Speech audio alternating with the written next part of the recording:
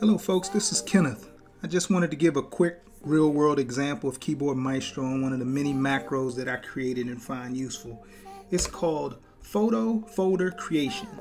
So as a wedding photographer, I like to keep a particular file structure ready and organized so that when I'm importing my JPEGs, my raw images, my video, whatever pertaining to that particular shoot, I have a folder structure for that. So this is a user prompt right here to ask me for some input created in Keyboard Maestro.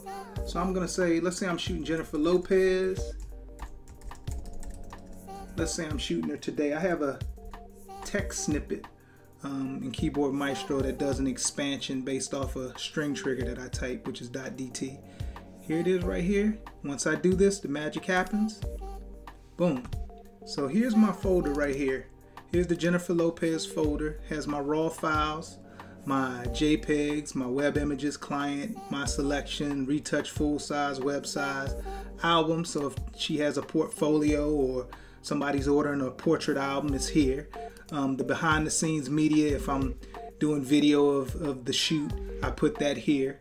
Um, documentation, the contract, the call sheet, whatever documentation will go here, any notes.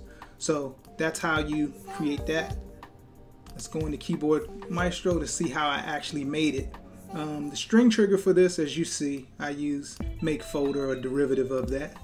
And here's my user prompt, which has three variables in it the site name, which is for the, whatever company that I'm shooting it under, um, the client info, last name, first name, date info, that's structured for this type of format of date. I use year, month, date. That keeps my files very organized. Right here is where it created, it used this to create the client folder itself. So this piece right here.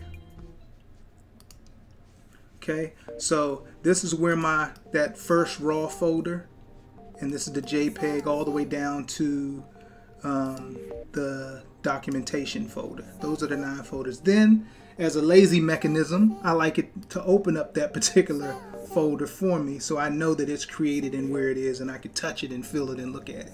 So that's it. Later.